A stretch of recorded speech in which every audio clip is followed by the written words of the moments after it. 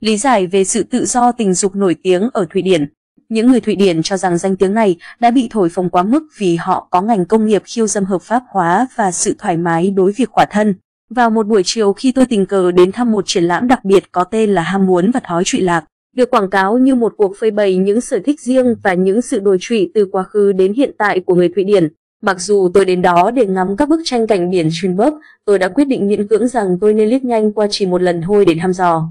mức độ tồi tệ trong tâm lý tình dục của những người chủ nhà mình. Để nghiên cứu thôi, triển lãm trải dài một cách tự do và chân thật xuyên suốt lịch sử của những bức tranh Thụy Điển dâm dục từ vài thế kỷ vừa qua. Có một bức tranh lớn, cao tầm 2,74 mét của Julius Brandberg, tác phẩm rõ ràng đã gây náo động khi được công khai vào năm 1876. Khắc họa hai người đàn ông liếc mắt đầy dâm đãng về phía một người phụ nữ khỏa thân với mái tóc màu gừng, có nhiều đoạn băng thủ dâm nghệ thuật đã được làm mờ. Cả một bức tường đầy kín hình ảnh những người phụ nữ khỏa thân đang tự thỏa mãn, thêm nhiều bức ảnh về những người đàn ông bị làm mờ cánh tay và những hình ảnh tương tự. Điều gì làm nên tất cả những thứ này? Người Thụy Điển nổi tiếng toàn cầu về sự tự do tình dục, nhưng nhiều nhà phê bình, khách tham quan và thậm chí là bản thân người Thụy Điển đều nói rằng điều này không hề có lý. Cái mà một số người coi là sự nóng bỏng Thụy Điển đến từ nhiều yếu tố. Trong số đó không có gì liên quan đến việc họ đặt cơ quan sinh dục của mình vào đâu và mức độ thường xuyên của việc đó. Đầu tiên, đã có một sự hợp pháp hóa ngành công nghiệp khiêu dâm Thụy Điển vào những năm 1960,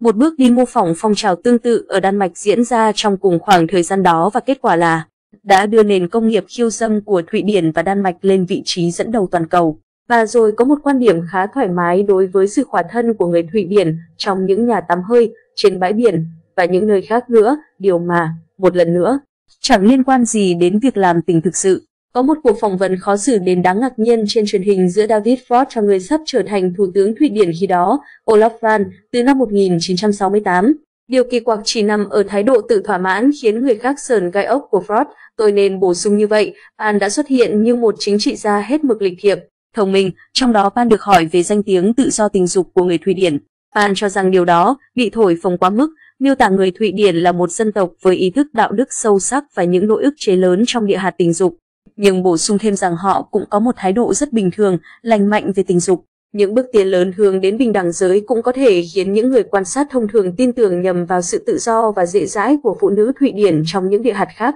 Những bộ áo liền quần khoét sâu của Agnetha Eveskov có lẽ cũng không giúp được gì, nhưng những biện pháp này được thực hiện chủ yếu là để đưa thêm phụ nữ tham gia vào công việc, không phải lên giường. Nếu có gì, thì triển lãm ở Bảo tàng Quốc gia đã tiết lộ về một đất nước mà trong lịch sử khá khắt khe về tình dục nhưng ít nhất nó đã tạo được sự khác biệt so với những trải nghiệm trong các bảo tàng Bắc Âu thông thường.